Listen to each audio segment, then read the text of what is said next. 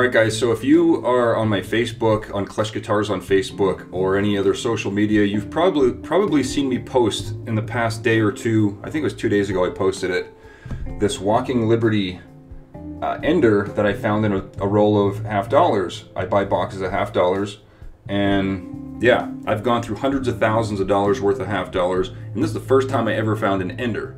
So I decided to throw it on eBay, and as you can see, it's doing pretty good here. It's I only put it up yesterday. It's got eight bids already. It's at 66 bucks or whatever.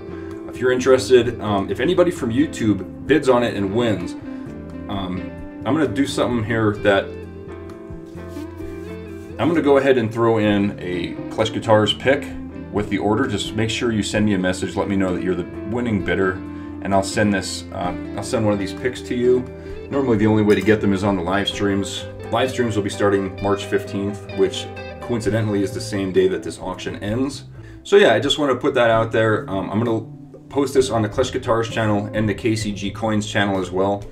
And um, yeah, if anybody's interested in bidding on it, there it is. If not, well, I hope you enjoyed looking at that awesome, extremely, extremely rare find there. I've never seen one of those before.